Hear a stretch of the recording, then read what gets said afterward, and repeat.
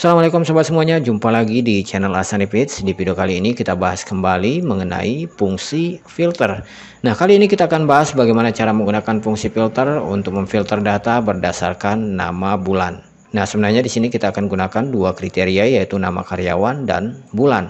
Tapi yang lebih kita fokuskan di tutorial ini adalah bagaimana menggunakan filter berdasarkan nama bulan. Nah, terlihat simpel di sini. Kita tinggal masukkan nama bulan, otomatis filter akan memfilter data berdasarkan nama bulan yang ada di sini. Tapi yang jadi masalah di sini, kolom tanggal yang akan kita gunakan sebagai dasar pemfilteran ini menggunakan format data tanggal lengkap, yaitu ada tanggal, ada bulan, dan ada tahun. Sementara yang kita masukkan di sini hanya bulan. Berarti kita harus mengekstrak hanya bulannya saja di sini. Nah, di Excel terdapat beberapa fungsi yang bisa kita gunakan untuk memecah-mecah format tanggal seperti ini menjadi bagian-bagian tertentu. Misalnya ada day untuk mengambil hanya tanggalnya. Kemudian ada month untuk mengambil hanya bulannya. Kemudian ada year untuk mengambil hanya tahunnya. Dan kita akan gunakan salah satu dari ketiga fungsi ini yang tentu saja adalah month, yaitu untuk mendapatkan nomor bulannya. Karena nanti fungsi filter tidak akan bisa memfilter berdasarkan kriteria yang tidak sama dengan yang ada di sini. Oke, jadi kita harus ekstrak terlebih dahulu nomor bulannya.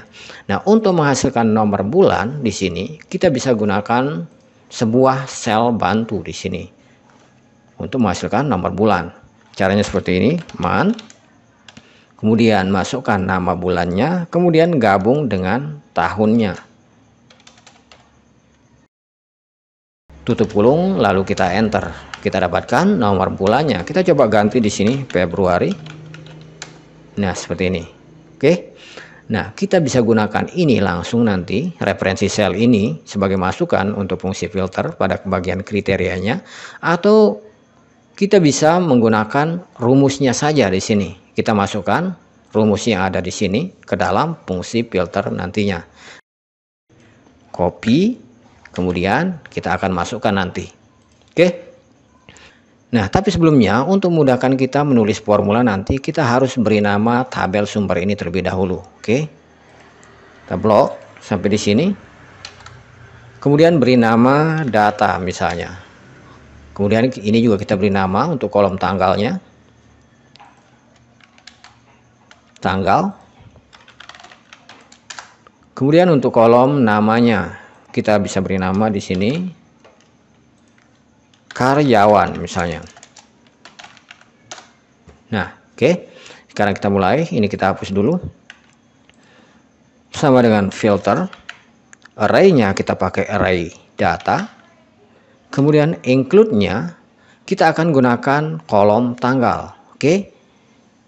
Kita bisa masukkan langsung di sini kolom tanggal seperti ini, tapi sebelumnya kita harus ekstrak dia terlebih dahulu. Kita kita harus masukkan fungsi man terlebih dahulu supaya dia bisa langsung mengekstrak hanya bulannya saja di sini. Oke. Man kemudian tanggal sama dengan nomor bulan. Oke, nomor bulan bisa kita dapatkan dengan menggunakan rumus yang kita buat tadi di sini. Jadi yang rumus tadi sudah saya copy sebelumnya, jadi tinggal di paste saja di sini seperti ini. Kemudian akan ada lagi di sini kriteria yang lain yaitu nama karyawan. Tapi sebelumnya yang sangat penting di sini kita harus kelompokkan terlebih dahulu antara kriteria pertama dan kriteria kedua. Jadi kita pisahkan dengan kurung seperti ini.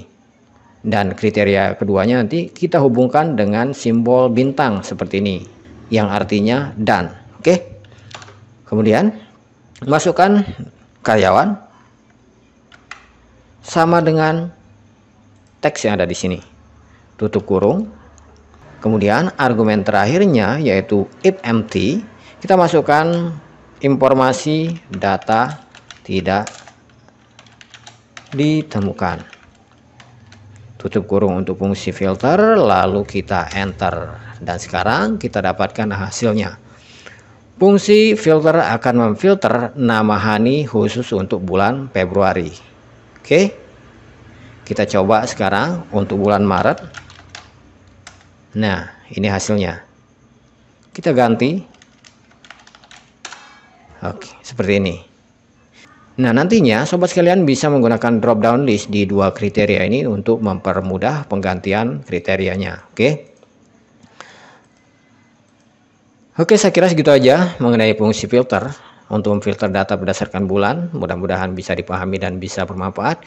Kalau ada pertanyaan atau masukan silahkan tinggalkan di kolom komentar. Bagi sobat sekalian yang baru mampir di channel ini atau yang belum subscribe, jangan lupa subscribe, like, dan aktifkan notifikasinya.